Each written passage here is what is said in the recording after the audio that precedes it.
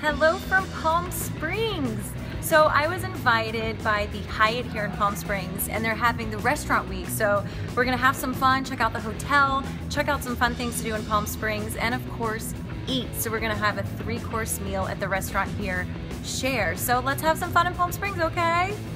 Martini Travels. Dinner time. So we're at our table at Share. It's gorgeous. It's like open air. We lucked out. It's perfect weather in Palm Springs. Right now it's like 79 with the breeze. And we're doing three courses. So first course, I'm doing the classic Caesar salad. And Rob behind the camera is doing the Asian style prawn noodle salad.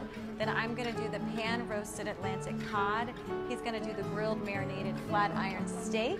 Then for dessert, I'm doing the Italian limoncello, which I'm really excited about because it's lemon cream swirled with classic Italian limoncello served in a champagne flute. And Rob is gonna do the espresso creme brulee. And we got a bottle of Prosecco because we're feeling celebratory. So cheers, let's eat.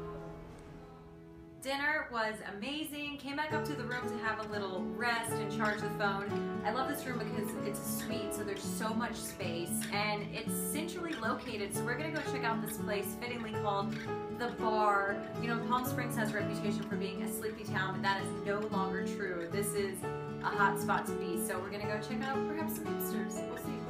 Had to give a quick shout out to Hoodoo Lounge because they have a whole step and repeat setup and this is the location. It's awesome.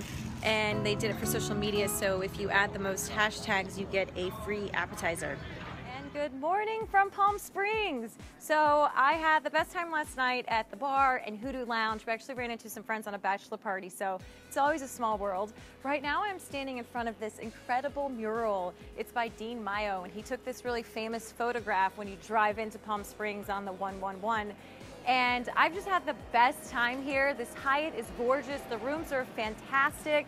So because it's so centrally located, I'm gonna take a little stroll around town, maybe buy something, and of course check out the pool party that's going on today because they always have events. So Thursday, Friday, Saturday nights, there's always something going on. So I give this two thumbs up and having a great time in Palm Springs.